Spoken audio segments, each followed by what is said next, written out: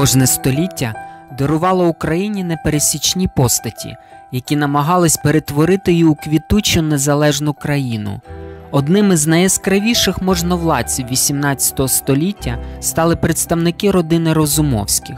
Саме вони та їх резиденції стануть темою нашої сьогоднішньої подорожі. Уся ця майже казкова історія про принцесу та жебрака почалася на хуторі Лемеші, на місці ось цієї споруди. Це будинок земської школи, який збудували на початку ХХ століття коштом Каміла Розумовського. Саме тут колись була хата, де народився фаворит, а потім і таємний чоловік Єлизавети Петрівни, його брат, останній гетьман України, інші члени родини Розумовських. На цьому подвір'ї п'яний козак Григорій Якович на прізвисько Розум ганявся із сокирою за сином Олексієм. Не в силах більше терпіти знущання, Олексій втече з дому назустріч новій долі. Сумуючи за сином, корчмарка Наталія Дем'янівна навіть не уявляла, що через певний час стане графинею, стацдамою та свекрухою російської імператриці. А події, казки, попелюшка по-українськи, головним героєм якої став сільський пастух, будуть переповідати усій Європі. Поряд з колишнім родинним гніздом розумів височить один із шедеврів українського бароко трьохсвятительська церква. Її спорудили у 1755 році на замовлення Олексія Розумовського над могилою батька Григорія Розума. Як на мене, Олексій побудував цей храм як шану Богові та долі, які дали йому такий неймовірний шанс. Певно, він не раз замислювався, як би склалося його життя, якщо б не було тієї сварки з батьком. А наступна дуже важлива подія у житті Олексія сталася у сусідньому селі Чемер. Саме тут на цьому місці знаходилась колись Михайлівська церква, де побачили ось того неймовірного красення Олексія Розумовського, який в майбутньому стане фаворитом Єлизавети Петрівни. Саме туди втік хлопець та знайшов прихисток у дяка місцевої церкви, який зглянувся над бідолахою та влаштував прийду до церковного хору, почувши небесний голос юнака. Різдвяним подарунком для Олексія стала доленосна зустріч. Повертаючись з Угорщини, з токайським вином для імператорських погребів Анни Іоанівни до храму завітав придворний російської цариці полковник Федор Степанович Вишневський. Саме він звернув увагу на вродливого юнака із прекрасним голосом. Після святкового богослужіння вони познайомилися, і в січні 1731 року хорист Пастух вирушив до Санкт-Петербурга. Так почалася кар'єра майбутнього графа Олексія Григоровича Розумовського. На жаль, дерев'яна церква, що була побудована на місці більш давнього храму, де відбувалися ці події, сьогодні є суцільною руїною, причому в самому центрі села.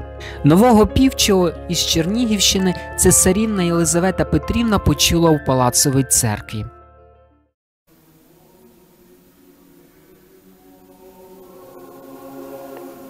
За одними джерелами українець мав ангельський тенор, за іншими рідкісний за потужністю бас.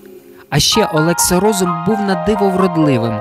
Незабаром хорист перетворився на фаворита. У 1741 році Розумовський брав активну участь у палацовому перевороті, внаслідок якого царський престол посіла Єлизавета Петрівна. У перші ж дні свого царювання Єлизавета осипає його подарунками та почестями, а також дарує великі маєтності в Росії і Україні. Друзі графа Розумовського вважали необхідним задля збереження взаємних вигод, щоб Єлизавета і Олексій побралися.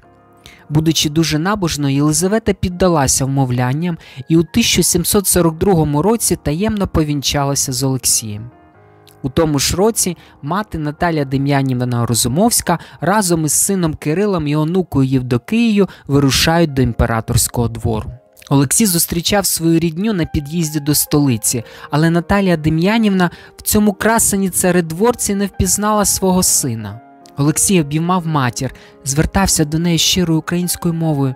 Матуся, рідненька, невже ж ви мене не впізнали? Це ж я, ваш син Олекса. Але мати все кланялася в пояс і тихо благала. Не жартуйте так, пане, не насміхайтеся з бідної вдови. Дійшло до того, що вона попросила Олексія роздягнутися, і тільки уважно оглянувши його і впізнавши усі родимки, вона впізнала свого сина і почала ридати і дякувати Богові за його ласку.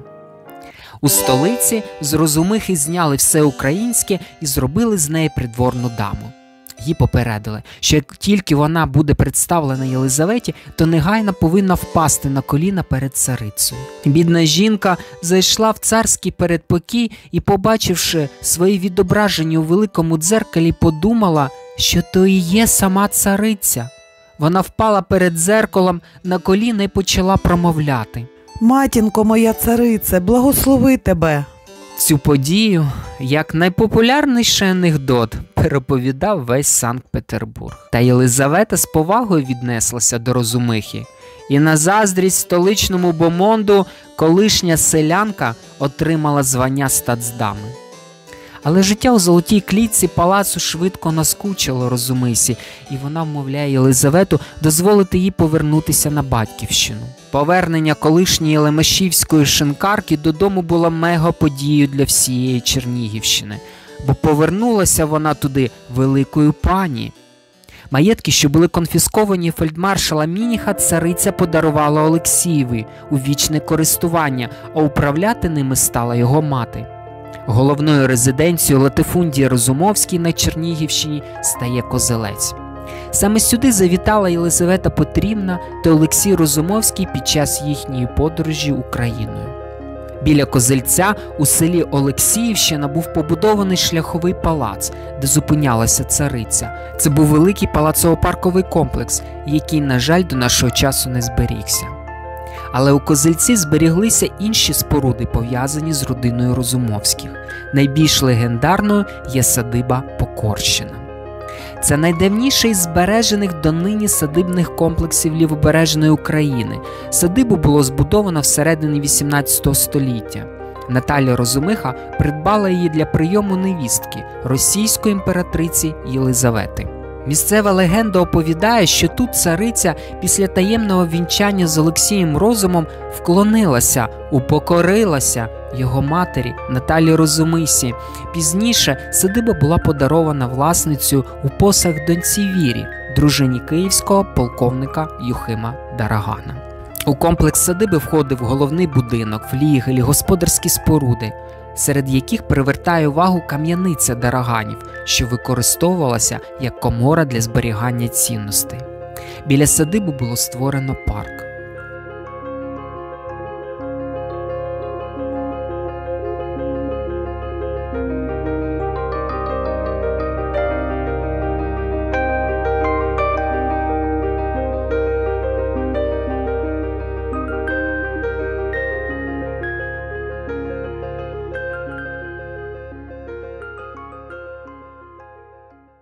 На жаль, садиба, яка могла би стати цікавим туристичним об'єктом, використовується як притулок місцевими волоцюгами.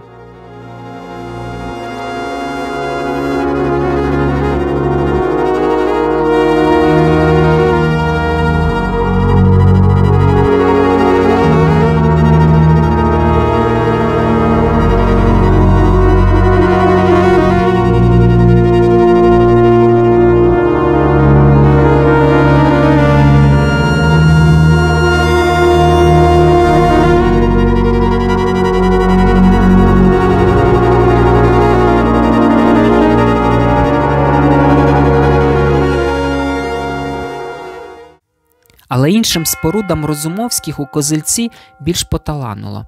Перлиною української сакральної архітектури є собор Різдва Богородиці, який домінує над усією забудовою поселення. Собор споруджено у 1752-63 роках на замовлення графині Наталії Розумовської архітекторами Іваном Григоровичем Барським та Андрієм Квасовим на знак подяки Богові за щасливу долю синів замовниці. Собор двоярусний. На першому ярусі знаходиться тепла церква Адріана і Наталії, усипальниця Розумовських, де була похована 12 вересня 1762 року Наталя Розумиха. На другий ярус з трьох боків ведуть напівкруглі ганки з відкритими колонадами, завершені наметовими верхами з елементами Китайщини. Витончений ліпний декор стін поєднує форми барокко, рококо і класицизму. Не менш вражаючим є інтер'єри, де панують центральна баня і багатоярусний різьблений з липи іконостас 18 століття, створений, як вважають, за участю архітектора Растрелі. Образи в іконостасі написані у стилі бароко. Існує легенда, що цей іконостас перекупила розумиха у одного із столичних храмів. Це один з найбільших вцілілих іконостасів 18 століття в Україні. Поруч із будівлею собору розташована чотириярусна дзвіниця, збудована Андрієм Квасовим, і висота сягає понад 50 метрів. За сквером собору знаходиться будівля полкової канцелярії. Це одна з двох збережених адміністративних будівель канцелярій козацьких полків. Будівля споруджена на замовлення зяті розумихів полковника Київського козацького полку Юхима Дарагана за проектом і під керівництвом архітектора Квасова. У виконанні ліпного декору брав участь архітектор Іван Григорович Парський. Після відвідин Козельця імператриця поїхала до Києва. Ще дорогою її щиро та з великою повагою зустрічали українці. Вона була зачарована прийомом і голосно промовила. Полюби мене, Боже, у царстві небесному Твоєму, як я люблю народ сей доброзичливий і незлобивий. Після відвідин Києва імператрицею у місті постав шикарний царський палац. Його було зведено в 1750-55 роках за зразком палацу, який проєктував Бартоломео Растрелі для Олексія Розумовського у його маєтку Перово під Москвою. Єлизавета сама обрала для нього місце. До складу резиденції мала увійти Андріївська церква, збудована за проектом того ж Растрелі. Цікаво, що сам архітектор в Києві жодного разу не був, оскільки церква повинна була стати палацовою, біля неї не будували дзвіницю, а інтер'єрі відсутні хори. До нашого часу залишається загадкою, чи були у Розумовського та Єлизавети діти, і чим більше таємниць, тим більше версій та припущень. Так було припущення, що двоє дітей, котрих виховувала Віра Дараган, сестра Олексія, насправді були дітьми цариці. Згадували також ім'я княжни Тараканової, чорниці Досіфеї. Восени 1761 року Єлизавета захворіла, а 25 грудня померла. Після смерті дружини Олексій відчув нестерпну нудьгу і велике бажання повернутися додому але продовжував жити в столиці, сподіваючись тут принести більше користі для рідної землі. За своє життя він зробив для України більше, ніж два гетьмани після Мазепи, залишаючись в тіні відмовляючись від усіх постів, які йому пропонувала цариця, він фактично був при дворі послом України. Помер Олексій Розумовський в липні 1771 року. Царська милість Єлизавети посипалася на усіх представників родини розумів, які згодом отримали більш звучне прізвище Розумовські. Але найбільшої ласки зазнав молодший брат Олексія Розумовського Кирила. До столиці привезли наляканого хлопця, який був неграмотний, але 15-річний юнак скористався щасливим шансом, який йому подарувала доля, та старший брат Олексій, і в березні 1743 року на два роки вирушив здобувати освіту до країн Західної Європи. Коли Кирило повернувся до Санкт-Петербурга, 16-річний юнак вже мав графський титул. Він вільно спілкувався німецькою, французькою, з'явившись при дворі Єлизавети Петрівни, вразив оточення вишуканими манерами та інтелектом. Коли йому виповнилося 18, його було призначено президентом Імперської академії наук. Кирило навіть породичався з Романовими. Його дружиною стала триюрідна сестра Єлизавети Катерина Наришкіна. У 1747 році вийшов указ імператриці про те, що в Україні дозволяється обрати нового гетьмана, і на цю посаду Єлизавета запропонувала Кирила Григоровича Розумовського. 24 квітня 1750 року було затверджено нового гетьмана Кирила Григоровича Розумовського, молодого 22-річного освіченого українця. Певний час Кирило Розумовський жив у Глухові. Для нього був побудований палац. Глухівський палац Розумовського поставив передмісті Глухова Веригіне. Садиба, хоча й була дерев'яною, але не повинна була поступатися петербурзьким і московським палацам. На превеликий жаль, будівництво палацу таки не було завершене. Він був знищений страшною пожежею у 1784 році. Взагалі, Глухів Розумовський не любив, тому згодом переніс столицю до Батурина. На жаль, час відносного спокою, права, економічного зростання та розквіту культури в Україні тривав недовго. Вже у 1764 році Катерина II наказала Розумовському скласти гетьманську владу і ліквідувала гетьманство взагалі. Таким чином, Кирило Розумовський був останнім гетьманом України. Йому дозволили повернутися в Україну тільки через 30 років. З 1794 року він постійно проживає в Батурині. Саме тоді він замислює будівництво грандіозного палацово-паркового ансамблю. Спочатку тут з'являється дерев'яний палац, що проіснував до 1859 року, коли був остаточно розібраний. При палаці знаходилася церква. Відомо, що у 1802 році Варвара Олексіївна Розумовська та князь Микола Григорович Репнін Волконський вінчались у Батурині. Це був прояв поваги онучки Кирила Григоровича, який вже нікуди звідси не виїздив. Саме вона отримала володіння діда у Яготині. Існують перекази, що Яготинський палац Розумовських первісно був побудований у Києві на сучасній арсенальній площі. Катерина II воліла розмістити там офіцерів російської армії. Не бажаючи бачити російських військових у своїй садибі, Розумовський наказав перенести той будинок в Яготин. Перевезення будинку відбувалося всього за одну ніч, бо Розумовський вигнав на роботу більше тисячі своїх кріпаків з підводами. Згодом Розумовський задумав побудувати кам'яний палац у Батурині. Новий палац гетьмана Кирила Розумовського це єдина архітектурна споруда в Україні, зведена геніальним архітектором Чарльзом Камероном. Продовж 1799-803 років тут тривали масштабні будівельні роботи. Після смерті гетьмана у 1803 році палац перейшов у власність його сина Андрія, але нащадки Кирило Розумовського тут не мешкали, і палац стоять занедбаний. Згодом інтер'єри знищила пожежа. У 1909 році Батурин відвідав правнук Кирила Розумовського Каміл Львович Розумовський, який виділив кошти на реставрацію палацу, де хотів створити музей народного мистецтва. У 20 столітті палац остаточно перетворився на руїну. І тільки на початку 2000-х завдяки програмі збереження пам'яток заповідника Гетьманська столиця була проведена реставрація будівлі і відновлено інтер'єри, флігелі та парк.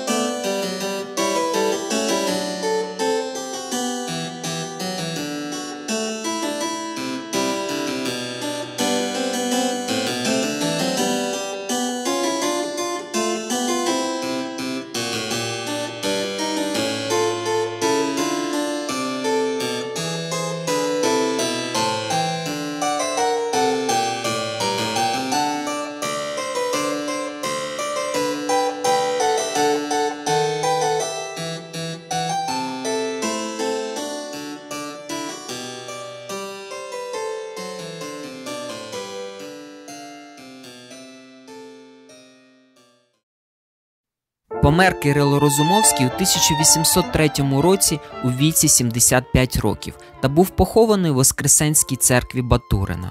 У 1805 році над похованням встановлено надгробок з білого італійського мармуру у вигляді піраміди з барельєфом небіжчика роботи скульптора Івана Мартоса. Розумовським також належали палацово-паркові комплекси на території колишньої Стародубщини. Сьогодні це територія Російської Федерації. Найбільш відома садиба була у селі Почепи. Та чи можна переінакшити власну природу? Напевно, ні. Про щедрість та відкритість, прямодушність і дотепність гетьмана ходили легенди. Переказували, що до самої смерті останній правитель України Кирило Розумовський беріг полатані штани й підбиту вітрами свиту, в яких простим пастухом він колись пас волів. Деяким чванкуватим синам він не раз нагадував про свої корені, на що одного разу почув різку відповідь. Різниця між нами величезна. Ви син звичайного козака, а я син російського фельдмаршала. Оцінювати внесок Розумовських у розбудову нашої держави я залишу історикам, але вони безперечно увійшли до переліку представників національної еліти. У заключному відео ми з вами познайомимося із резиденціями славетної династії Терещенків. Підписуємось і до зустрічі!